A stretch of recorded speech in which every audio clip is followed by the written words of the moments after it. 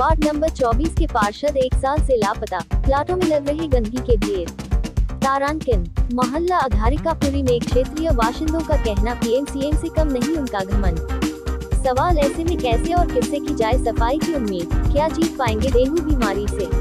तारांकिन, फिरोजाबाद नगर निगम क्षेत्र ward number 24 मोहल्ला अधारिकापुरी में। खाली प्लाट में गंदगी के ढेर लगे हैं, बताया गया यहाँ के पार्षद एक साल। से सुध लेने नहीं आए। शिकायत किससे करें। कईयों को तो ये भी नहीं मालूम कि प्लाट किसका। ऐसे में जिस तरह से डेंगू वायरल पलट रहा है, उससे कहीं न कहीं क्षेत्रीय बाशिंदे भी आशंकित हैं। बाशिंदों में क्षेत्रीय महिला राखी ने बताया कि यहाँ मोहल्ला द्वारिकापुरी में जब से पार्षद बने हैं, कोई अभी तक देखने नहीं आया। न यहाँ साफ़ सफ़ाई हुई। आरोप लगाया कि यहाँ के पार्षद को तो पीएम, सीएम से भी ज़्यादा घमंड सीधी मुँह बात तक नहीं करते। नगर निगम से भी कोई सफ़ाई करने आया। न यहाँ मलेरिया में फाग मशीन चलाई गई है। वहीं एक क्षेत्रीय नागरिक ने बताया कि लगभग एक साल से पार्षद निहाल सिंह कुशवाहा आए नहीं। बताया कि प्लाटों में गंदगी पड़ी है, जो उसमें यही नहीं पता किसके प्लाट हैं। ऐसे में विडम्बना है कि जिस तरह से डेंगू का प्रकोप बढ़ रहा है वहीं देखा जाए तो इस तरह से क्या वाकई डेंगू जैसी बीमारी से जीत पाएँगे? जब पार्षद का ही पता नहीं तो साफ़ सफ़ाई की उम्मीद किससे की जाए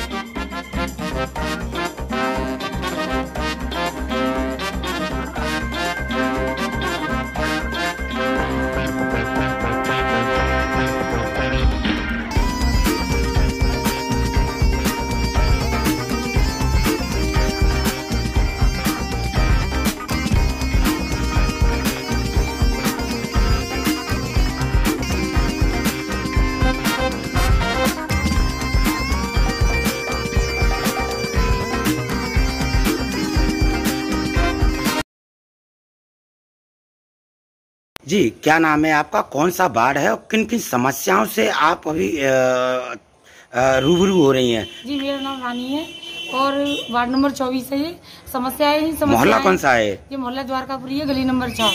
जब से मतलब हमने जैसे पार्षद को बनाया है ना तो वो कभी देखने आए ना हमारी समस्याओं को सुने।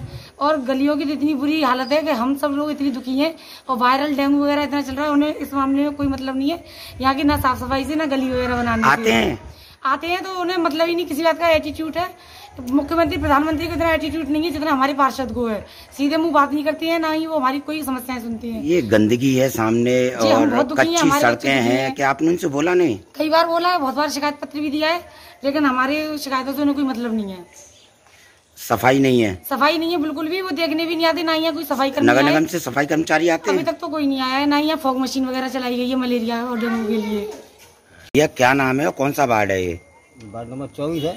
मोहल्ला कौन सा है ये? द्वारकापुरी। ये ये सामने गंदगी है बगल में गोबर वगैरह डला हुआ है। सफ़ाई की नहीं बोला पार्षद से? जगह वाली पार्षद पार्षद आए तब तो। कब से नहीं आए पार्षद? पार्षद तो एक साल हो ही लगभग।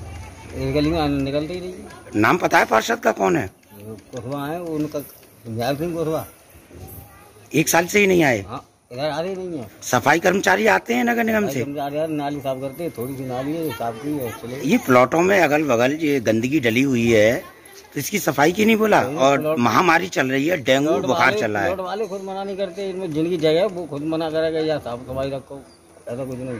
आपके यहाँ इतने छोटे छोटे बच्चे हैं इतने छोटे छोटे बच्चे हैं क्या आपने उनसे बोला नहीं कि सर यहाँ सफ़ाई कराइए इतनी गंदगी है? तो अभी पता यही नहीं पता ये प्लॉट किन का है जगह किन की है। मैं पार्षद की बात कर रहा हूँ आपने उनसे बोला? अभी हमने नहीं बोला हमें अभी तक नहीं बोला। आए तब तो बोले।